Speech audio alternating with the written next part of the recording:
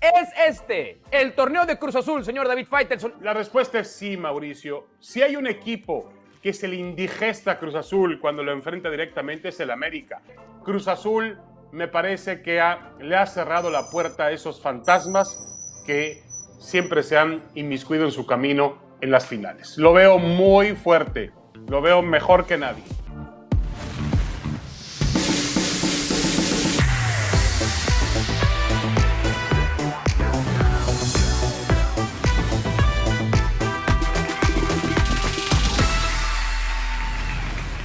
Es ahora o nunca, amigas y amigos. Bienvenidos al programa de este miércoles, ya media semana. Todos se subieron al tren.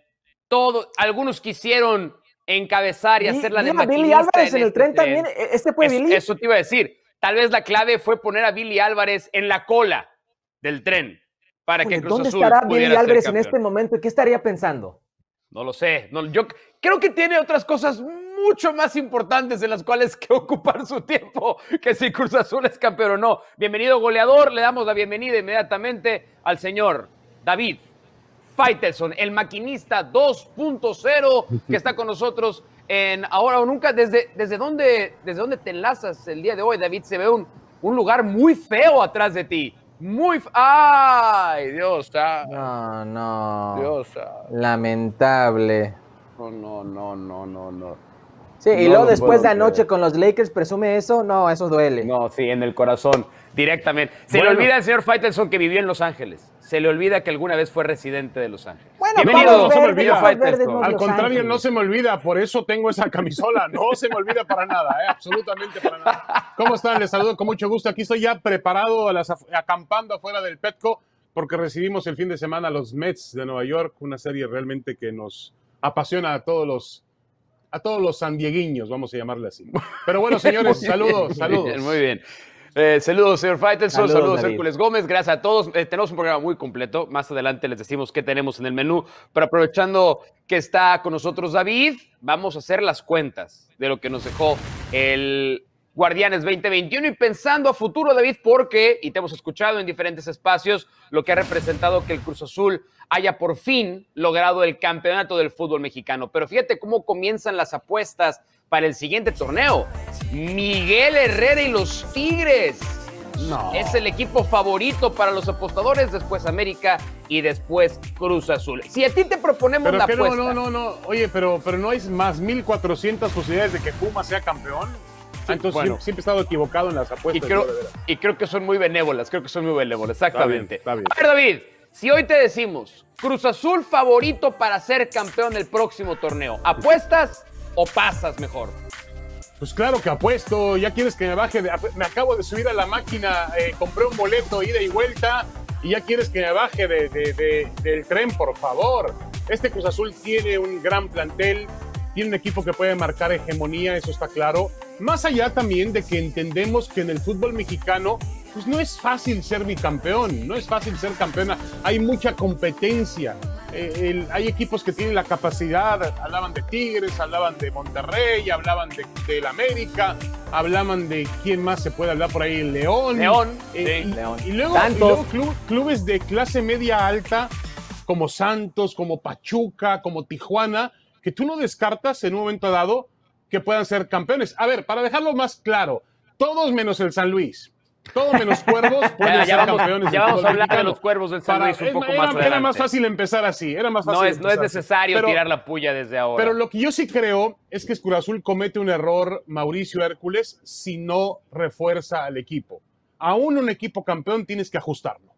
Por ahí voy. Y por eso voy a pasar, Mauricio y mi querido David. Eh, para empezar, sabemos lo difícil que es un bicampeonato, tan difícil que solamente Pumas y lo que es León lo han hecho. Ahora, para coronarse tomó casi 24 años, se alinearon las estrellas, era una tormenta perfecta y la hicieron. Pero luego vas a decir que existe la posibilidad que Cabecita Rodríguez se vaya, que JJ Corona no se quede en Cruz Azul y que Luis Romo, el MVP del torneo, se vaya al viejo continente y van a ser favoritos para coronarse de nuevo, yo no lo veo así. No, no, es muy difícil esto del bicampeonato y más con estos jugadores que posiblemente no, van a estar.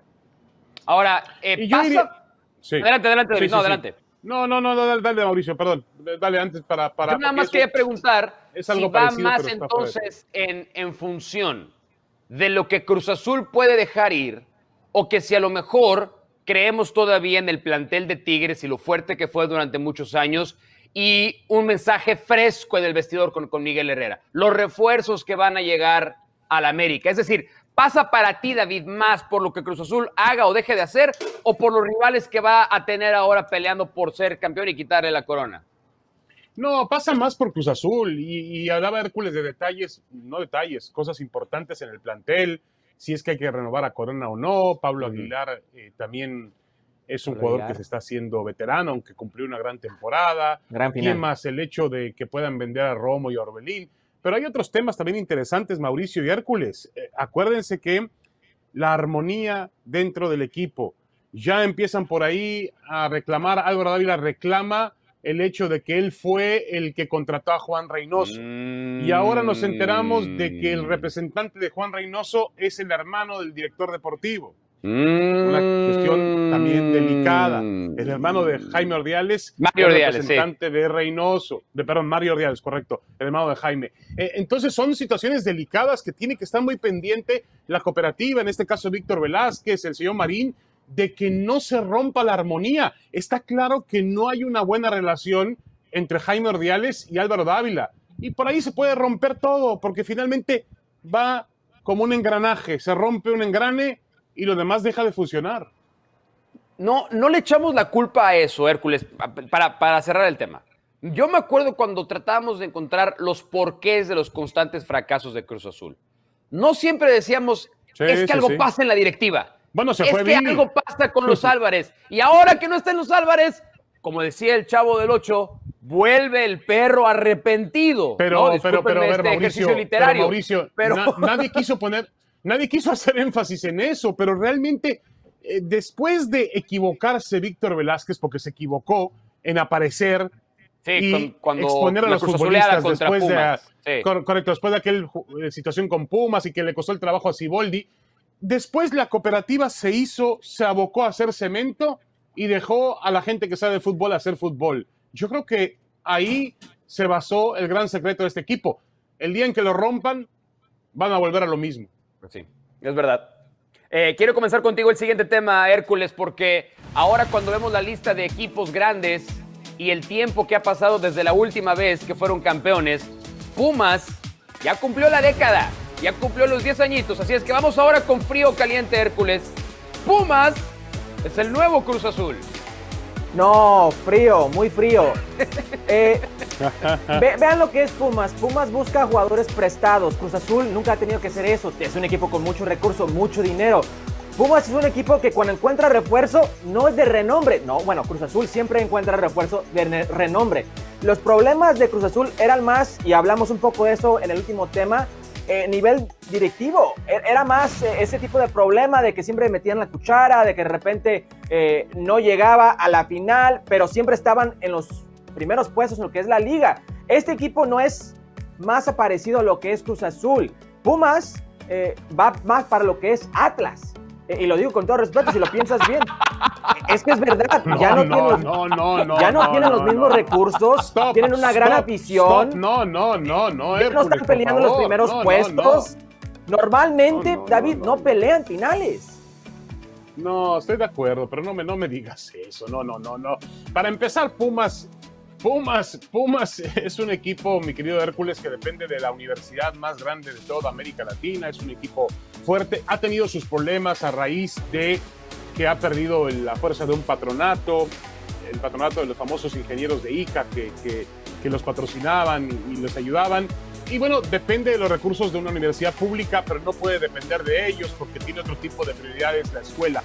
Pero yo no creo que es el escenario que tú pintas. Tendrá que encontrar la manera en la cual pueda competir. Yo te pregunto una cosa, Hércules. ¿Por qué el torneo anterior Pumas fue protagonista y subcampeón del fútbol mexicano ¿Por qué no esas cosas pasan. Querétaro, Querétaro su campeonato contra Santos. Siempre hay de repente un equipo que juega más de lo que realmente tiene. No se olviden. No, no, no, no, no, no, no, no, me vengas con eso. No, no, no, Las fuerzas básicas, Pumas, Atlas. Eh, la directiva, antes de lo que era este Orlegui Sports, la directiva de Atlas, los mismos problemas. No suelen pelear los primeros puestos, no suelen pelear cosas importantes.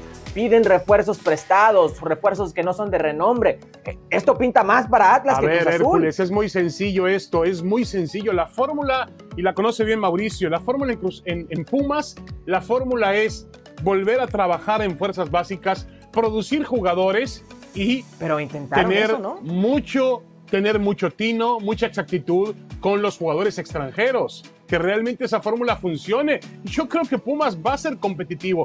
Tiene problemas económicos, no tiene el presupuesto de América, de Cruz Azul, de Monterrey, de Tigres, de León, de Pachuca, de Santos, pero le, obligan a estar en ese nivel, a competir en lo más alto. El, el secreto pasa por, tienes un central de jerarquía, Darío Verón, tienes un volante central inteligente que ordene, Leandro Augusto, tienes un matón en el área, Bruno ah, Marioni. Es fácil, hay que y encontrar jugadores legendarios y ya todo se soluciona. Pero a lo que va David es que, o sea, Pumas eso es lo que hace va y trata de a la columna vertebral.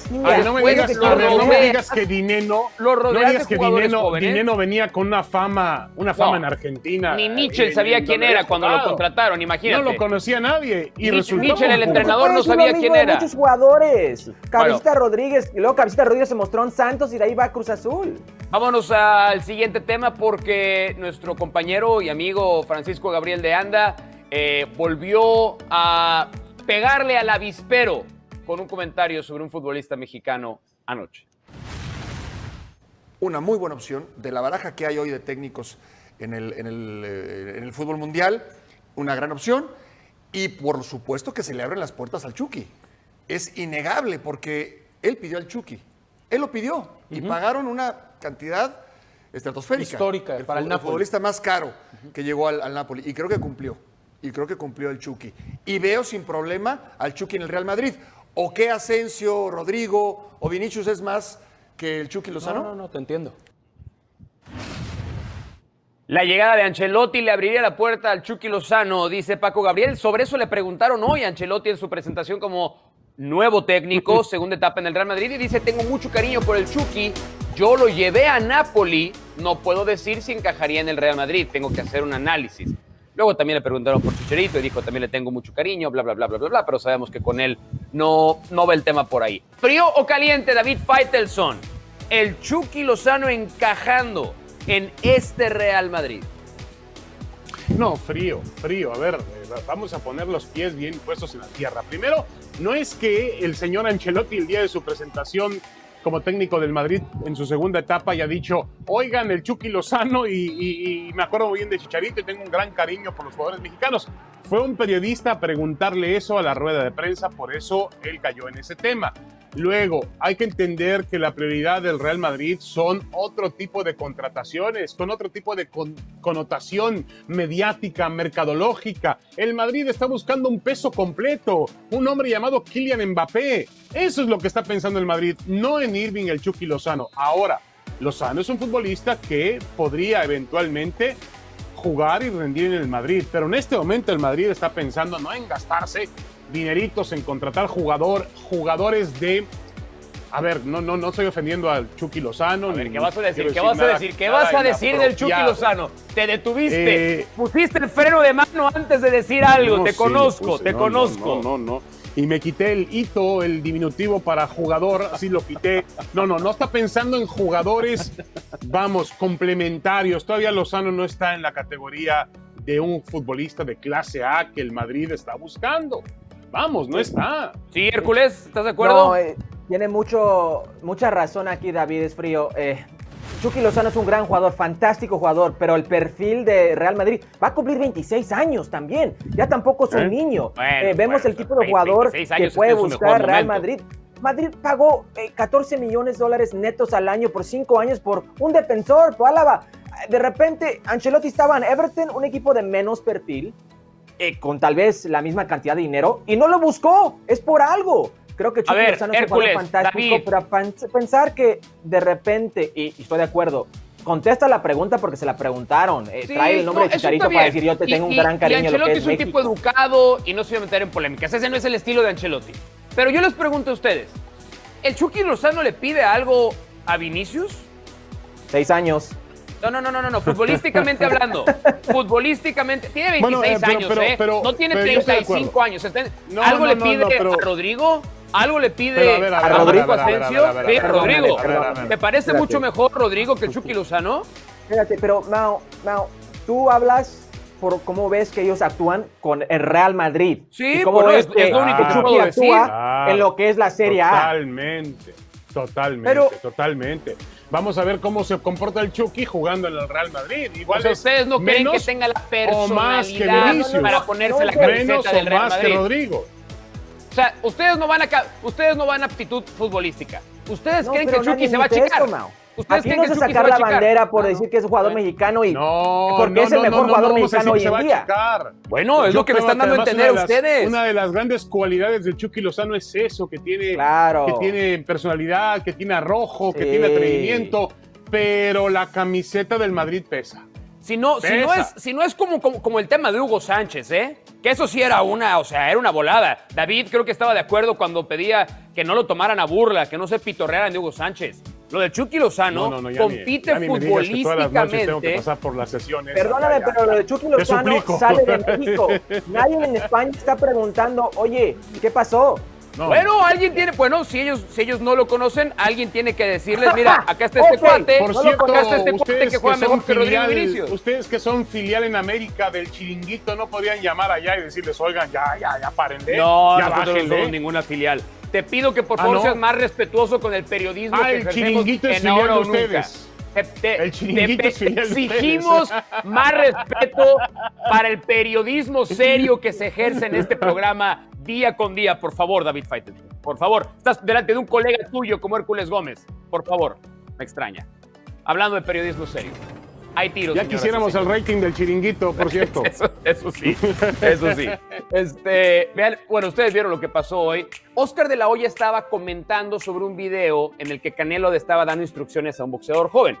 Y puso un comentario Oscar de la Hoya en ese video diciendo, este tipo hace todo mal, la cabeza arriba, cuando tira los ganchos, está con los pies planos. Ah, y además evita pelear contra Junel Charlo.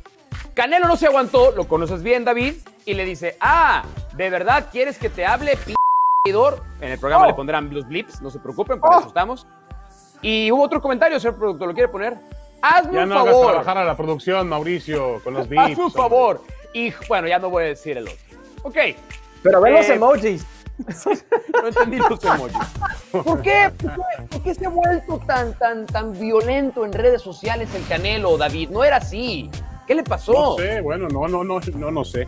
No, no, yo no sé. Mira, yo lo que sé es que, a ver, Oscar de la Hoya fue un gran boxeador, Saúl El Canelo Álvarez es un gran boxeador, dos de los mejores boxeadores hispanos de todos los tiempos. Mm, tendrían que llevar la polémica a un poco de mayor altura. Yo no vi que Oscar le faltara al respeto. Oscar dijo, dio unas apreciaciones técnicas que podemos discutir. Oscar dijo que ahí está Charlo para, para una eventual pelea con el Canelo. Se ve que quiere calentar ese combate. Me parece que, que Saúl perdió un poco la, bueno, no, un poco, perdió muchísimo la, cabeza, la, bajó la polémica de nivel, porque le hubiera contestado, oye, perdóname, pero estás equivocado, yo eh, he corregido mucho técnicamente algunos defectos que he tenido en el ring, eh, y puedo de alguna otra manera eh, pelear con Charlo cuando tú quieras. ¿Qué pasó? Antes, antes, faltó que le hablara de usted, no. Oiga, señor Oscar de la Hoya. Pues, eh, pero, usted qué quiere? ¿Usted quiere ¿Ustedes quieren, quieren mi cabeza? ¿o qué quieren? ¿Quieren mi cabeza? ¿O quieren que termine yo? Que termine el bufete de abogados de Nueva York? No, no, no. Oscar de la Hoya fue a atacar a Canelo. Oscar de la Hoya quiere pelear como contra dice, alguien de la UFC que tiene 10 años retirado. Dice, se pelea con Dana White. Como dice, como decía Hugo Sánchez y se acuerda de Mauricio, no es mi bronca. macho. Bueno, pero no es mi bronca. Algo que no, no, es mi bronca, macho. Pero... algo, tal vez algo de verdad dice en una manera muy brusca, muy fuerte eh, de la olla. Dice que pues no quiere contra Charlo y tal vez está optando por estos boxeadores. a mí lo de Charlo, a mí lo de, a mí lo de Charlo no me preocuparía. Me preocuparía que lo desnudó técnicamente como boxeador. Es decir, que. Bueno, bueno, bueno. A ver, Hércules. Algo que no ha hecho nadie en el Hércules. menos ¿Quién fue mejor? ¿Quién fue mejor, Hércules? Mauricio, ¿de la olla o el Canelo? Uh, ahí se van, ahí se van. no, técnicamente de la olla le da 10 vueltas a Canelo. técnicamente de la olla le da 10 vueltas a Canelo. Mira, yo sé que David no lo quiere decir. Yo sé que David, David en este momento es un hombre inteligente, es un hombre prudente. Yo lo digo en nombre de David. Dígala, dígala. La olla le da 10 vueltas. Es de técnica. Dice el señor David Faitelson en su muy, muy popular y seguida cuenta de Twitter, millones y millones de seguidores. Gracias. Dice, ya que Club de Cuervos está por saltar, yo no, bueno, un día le preguntaré a David el, uso de sus comillas. Ese, ese, día otro lo vamos a. bueno, es que no nunca he visto un equipo saltar a la cancha. Es, imaginariamente por eso me enseñaron a ponerle comillas. Pero está bien. ¿Qué piensas, ¿qué piensas del tema? Tú conoces a los Alarraqui. ¿Qué piensas del tema de Club de Cuervos en la primera división y en San Luis? No, a mí me parece fantástico que tengamos un publicista como Alarraqui metido entre los dueños de equipos. Sería maravilloso. Tiene un tipo con mucho ingenio, con mucha capacidad. Lo veo muy bien, muy, muy bien en ese sentido. Lo que sí me parece es que la, si la, la trama del, de la serie Club de Cuervos se involucra con el fútbol mexicano, que sabemos que existe. Que ya ha pasado, pues obvio. No, hombre, que sí ha pasado, por favor, por favor. La conocerá Hércules Gómez. Hércules Gómez era como Aitor Garmendía, ¿no? ¿Cómo era?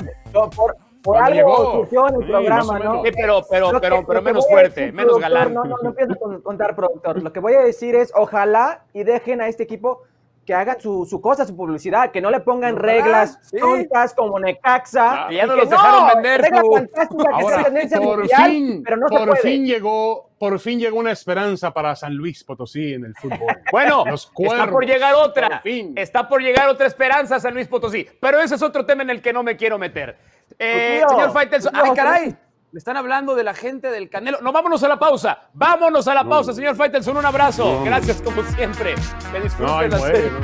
Van a correr.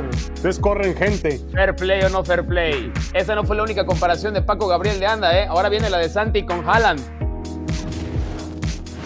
Para mí tiene condiciones. No quiero, no, no quiero, quiero dejar muy claro, no estoy comparando ahorita, pero tienen características a futuro. Lo del Chaco Jiménez, lo del Chaquito, con Haaland con Haaland. Así, te lo pongo. A ver, zancada larga, potentes, pierna izquierda, buenos definidores. Por las condiciones físicas, el tamaño, el perfil, las características, para mí tienes que apuntar hacia allá. Este fue nuestro buen amigo Paco Gabriel de Anda analizando las condiciones de Santi Jiménez y quiero ser justo en fair play o no fair play, les quiero ser justo con el verbo a utilizar. No sé si es comparar, eh, contrastar, eh, analizar las virtudes del Chaquito Jiménez con las de el próximo gran estrella del fútbol mundial, Erling Holland. ¿Fair play o no fair play lo que dijo Paco? Eh, para empezar, no es fair play que la producción no invite a Paco Gabriel para defenderse una eh, number one cobarde, cobarde. No, no les digas así, Hércules. No, no, cobarde, cobarde. Eh, pero, pero es fair play porque es su opinión. Yo no dije nada. No la comparto para nada. Lo único que tienen no aparecido o similar es que ambos tuvieron papás que jugaron en un nivel muy alto. Lo único. Y la, y la, y la vinchita, y la vinchita que usan aquí Erling para... Haaland, eh, si, si, no hoy, ¿cuándo? Tiene 20 años, Erling Haaland, para que veas el fenómeno, fenómeno que es Erling Haaland.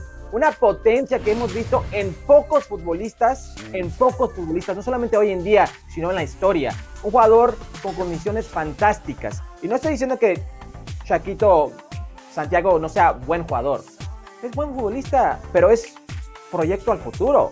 Tan proyecto que no es titular hoy en día eh, con el equipo de Cruz Azul y no ni, está en la panorama, en la órbita de la selección mexicana. Eh, bueno, justo, justo hace un par de horas se confirmó que lo va a llevar Jimmy Lozano a la, a la gira de tres partidos que tendrá la selección la mayor.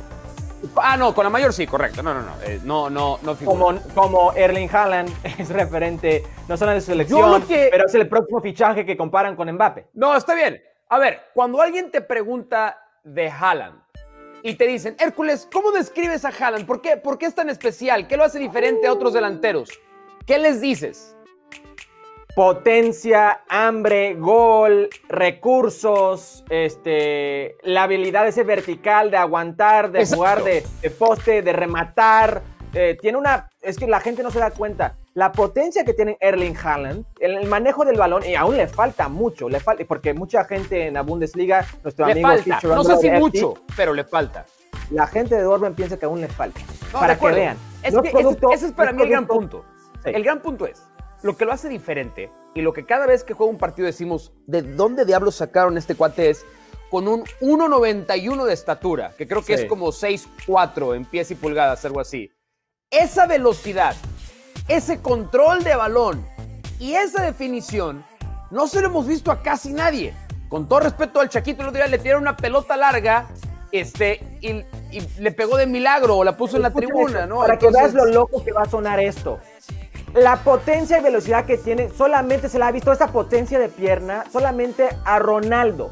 No hablo de Ronaldo el portugués, el brasileño. Mucha gente va a decir, hombre, ¿de qué estás hablando? Para que vean. Eh, todavía nos está dejando grandes momentos la final, el título de Cruz, perdón, nuestro título de nuestro Cruz Azul, que por fin lo logra después de casi 24 años, y a quien le dimos la buena suerte fue el Shaggy Martínez, que lo tuvimos aquí en Ahora o Nunca, y fue regañado por el Conejo Pérez por agrandarse, por hacerse el galán, el Shaggy de todas las personas. Shaggy festejando.